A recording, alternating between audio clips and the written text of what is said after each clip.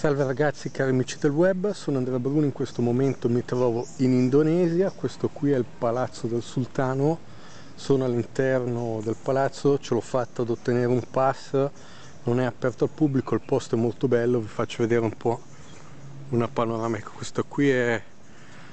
è la portantina che usa lui per andare in giro, per spostarsi, qui abbiamo diversi ambienti, ecco, tutto all'aperto di una semplicità incredibile, per alcuni versi mi ricordo un po' Gheddafi che anche lui viveva in una tenda, qui più o meno la vita qui si svolge tutta all'aperto e anche perché c'è un clima bellissimo, in questo momento sta piovendo, non piove spessissimo, anzi piove molto raramente e quando piove è sempre per spazi, archi di tempo molto brevi. Ecco qui abbiamo, questo qui è il posto dove riceve il sultano. Ecco da qua si arriva lungo questa passerella, ecco qui vi è un'anticamera per il ricevimento,